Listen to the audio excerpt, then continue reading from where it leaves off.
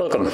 In front of me is an LG K30 from 2019 and today I'll show you how to format the SD card.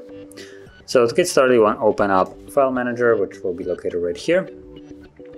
Cielo app and tap on the internal storage. It will pop up the sidebar where you will have the choice to choose your SD card. Tap on that on the three dots and let's go into the SD card settings and here you will see format option. So let's tap on that. It gives you a message that performing this will remove all the data from the SD card. So if you want to back it up, you might want to do this before, otherwise you will lose all the data.